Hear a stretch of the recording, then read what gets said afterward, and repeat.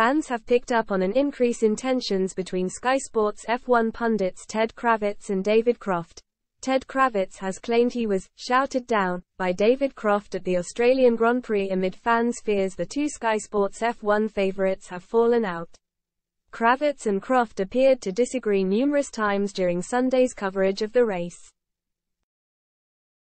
It led to a few tense exchanges with spectators picking up on the issue. And Kravitz has acknowledged the pair were involved in tense discussions after he made a suggestion on Sunday, the Sky Sports pit lane reporter had asked why F1 had decided to restart the race to run behind the safety car with one lap remaining. But, Croft defended the FIA's decision in case something happened to one of the other drivers.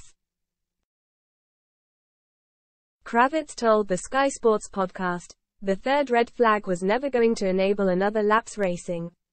It was always a pointless one, hence why I asked the question in the commentary, why? Given this is the order which the Australian Grand Prix is going to finish, why are we restarting this? And then Crofty said, Oh you don't know what's going to happen. I basically got shouted down by Crofty and Karun, Chandhok, and Jensen, Button, who said it was ridiculous to say that. Fears of a rift between the broadcasting team were flagged on social media during the Grand Prix. At Rincerus remarked, Ace how much Ted Kravitz and David Croft obviously hate each other. At Prawnf one posted, Croft and Kravitz clearly hate each other. At Tiger White 1977 added, the Sky Sports commentary this afternoon would lend itself to a degree of animosity between Ted Kravitz and David Croft. At Yanatab stressed, yes, Croft and Kravitz exchanging digs. The disagreement over the restart was not the only tense moment between the pair.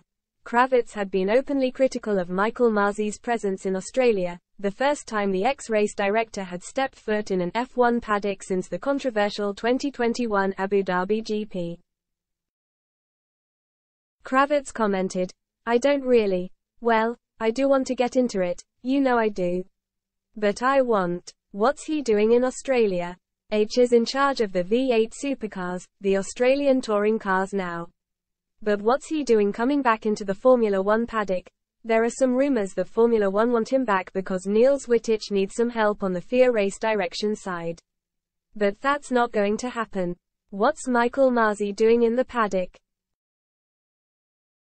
However, in a later chat about Masi's involvement, Croft hit back at Kravitz's assessment. Croft explained, no matter what your allegiances were in 2021, you have to remember H is still a human being.